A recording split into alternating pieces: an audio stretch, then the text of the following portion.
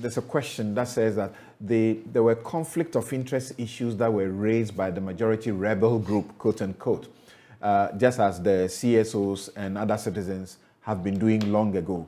How do you, the uh, majority whip, reconcile those conflict of issues, uh, conflict of um, interest issues raised with uh, agreeing for Ken Ofori-Atta to stay for three more weeks or even more?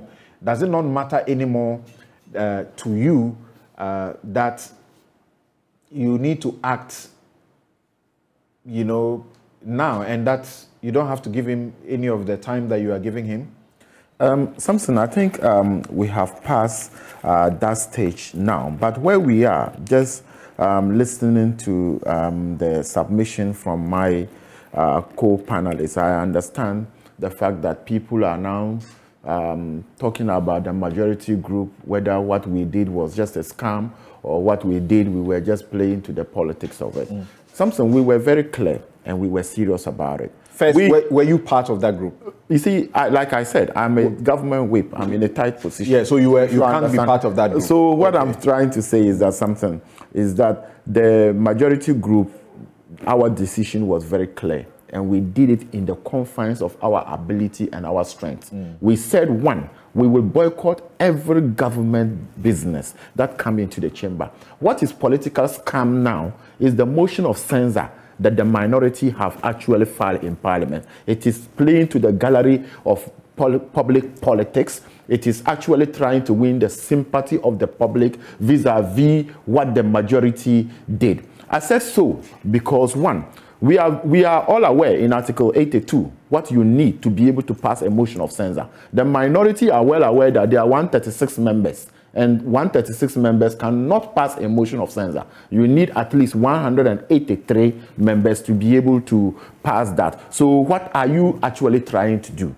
That you are filing a motion uh, of censure to remove a minister, knowing very well that the constitution doesn't give you the right in terms of the numbers, the strength you have in parliament. They are doing the, it, you see, hoping, hoping that some of you definitely. We we could also say that the motion they filed that we were also filing it, hoping from them. But we know that we don't have the strength if they are not actually going mm. to uh, support us. But and, when, and when you decided see, to you when you decided to act you have now actually almost backtracked some, somehow. No, so why Samson, do you say DS is a scam? Samson, because see, there's no guarantee that you will do what you could do. Samson, you see, this call and this current happening in our country, it's not the first of its kind.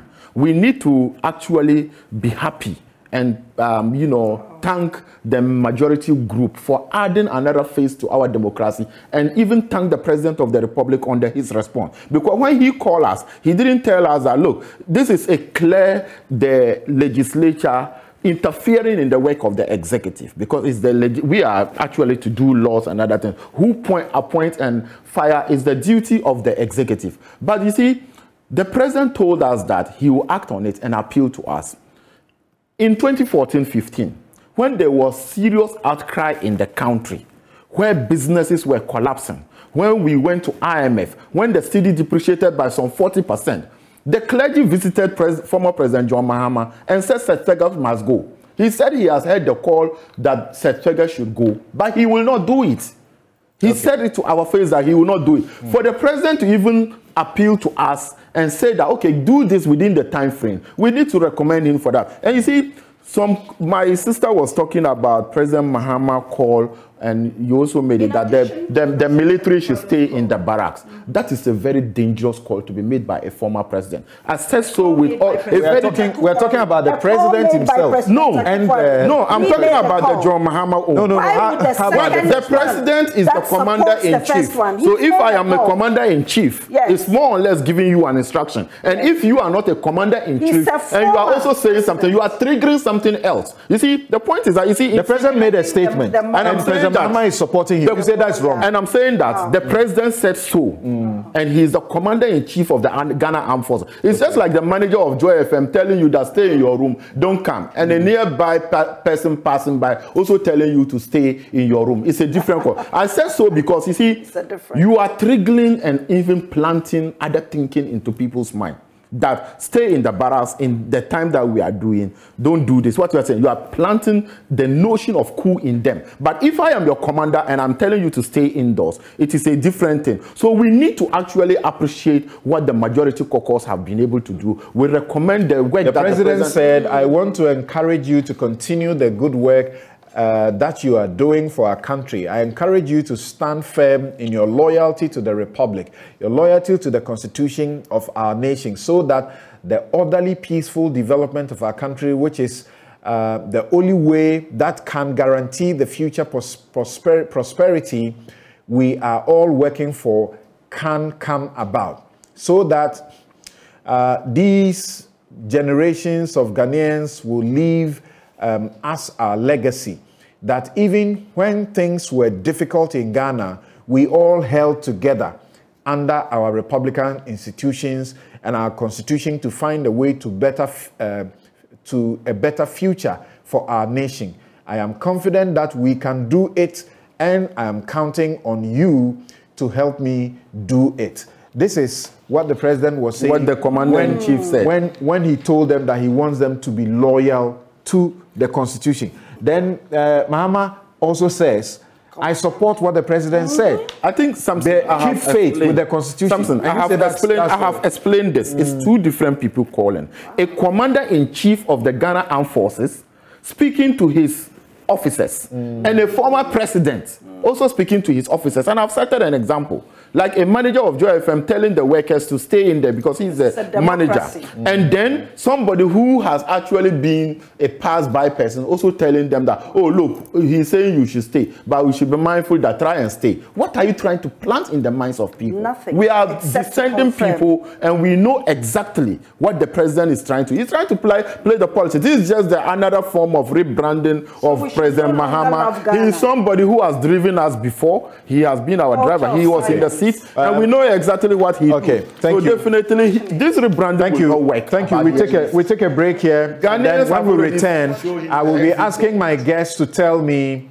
what they expect to hear from the president after all the meetings he has had with the various stakeholders um, regarding the economic situation. This show is brought to you by the candid sponsorship of Bank of Africa. As strong as a group and close as a partner, MTN everywhere you go. Star Assurance, your solid partner. Ashesi University, educating ethical and entrepreneurial leaders for Africa. Robert and Sons, Optical Services, your comprehensive eye care service provider for 31 years. Fenard Ghana, Think Wood, Think Fenard, Duroplast.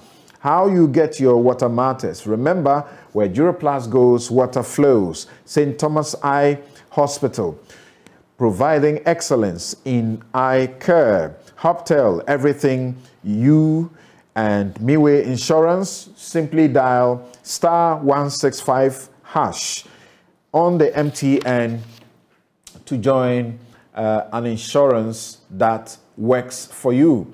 And my guests this morning who have joined us and we have been having the discussion are uh, Clara Kolega, uh, Barry Kasati, she's a lawyer, lecturer, University of Ghana School of Law and board member of the CDD Ghana. Also, John Osae-Kwapong is political scientist, democracy and development fellow at the CDD Ghana. Dr. Kwabena Nyarko Otoo is chief economist and director, Labor Research and Policy Institute, Trades Union Congress. Habib Iddrisu, you just said him a while ago, MP for Tolon and Deputy Majority Chief Whip. Mona Quartey is managing partner, BVM Advisory Services, and former Deputy Minister of Finance. We'll be right back.